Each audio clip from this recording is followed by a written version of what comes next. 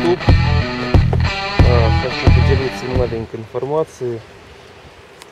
Вот, помните, я говорил, когда э, утеплить автомобиль, ну и заодно он держит влагу. Такое свершилось, был снегопад, набил сюда снега, когда я э, дверь открывал, и снег потом растаял. В такую теплую погоду он уже растаял. И было вот тут вот такое большое пятно. Но здесь все сухо. Что впитала? Впитала ашановская салфетка. Вот такое пятно на ней было. И впитал вот этот материал из дивана. Войлок.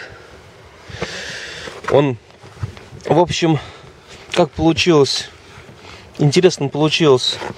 Здесь прям было отчетливо такое пятно, а здесь было больше, но он был как бы просто влажный, слегка влажный.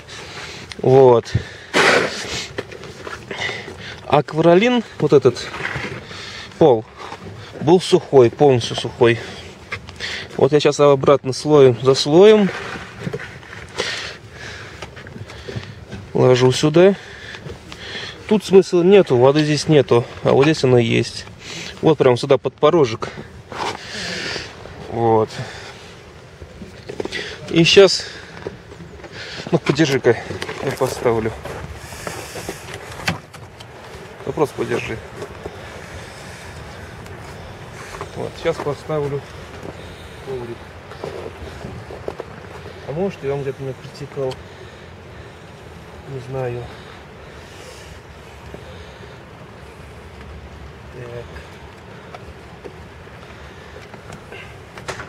Все.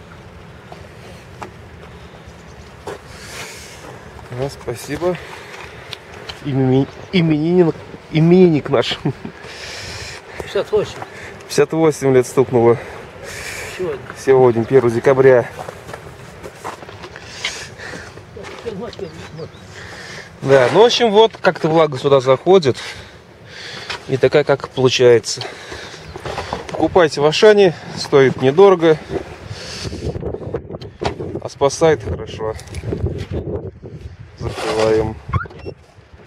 И еще раз прошу, кто понимает, закрывает, открывает все хорошо. Но когда стукает мороз, почему-то именно центральный как будто заедает. Ключом подвинул, открыл, шпинечек открывается. Когда при силиконе хватает на неделю, край на две. И опять такая же ерунда. Вроде влаги нету, но именно на морозе, значит, что там замерзает. Ну вот, все, пока. До следующего видеоролика.